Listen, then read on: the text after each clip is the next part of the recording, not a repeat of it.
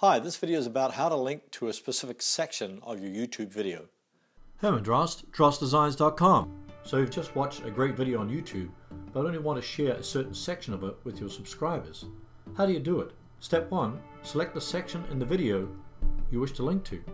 So in this case I've chosen Steve Jobs' Stanford commencement speech of 2005, which has received over 8 million views. And I've chosen the section that begins at 8 minutes and 49 seconds where he talks about death. Third story is about death.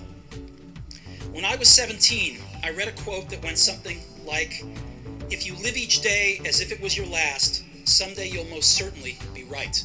Step 2. Add the URL of the video to Notepad.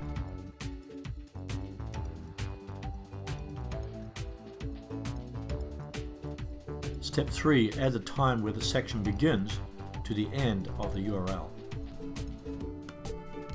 As you can see here, time 8 minutes 49 seconds. Step 4. Enter the URL in your browser and check that it goes to the correct section. That's it. Deep linking to a certain section of a video enables you to share only the most important information with your subscribers.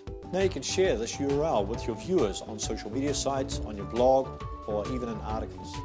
Get 21 more advanced strategies for generating traffic and leads from YouTube videos by subscribing to my free e-course 21 ways to get YouTube traffic. Click the box above or visit the link in the description below this video. Thanks for watching.